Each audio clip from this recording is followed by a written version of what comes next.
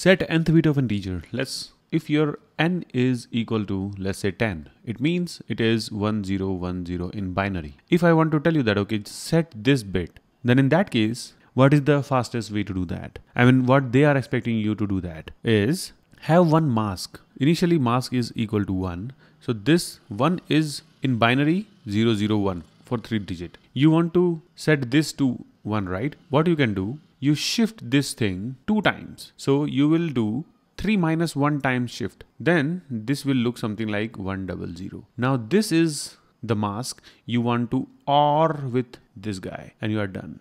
So let's look at the program here. This is your number. I is like which bit you want to modify. So that minus 1 times 1 will get shifted and that would become your mask and mask OR with X would give you the result. So this is what they are expecting. So thanks for watching guys. I'll see you in the next videos. Bye bye. Take care.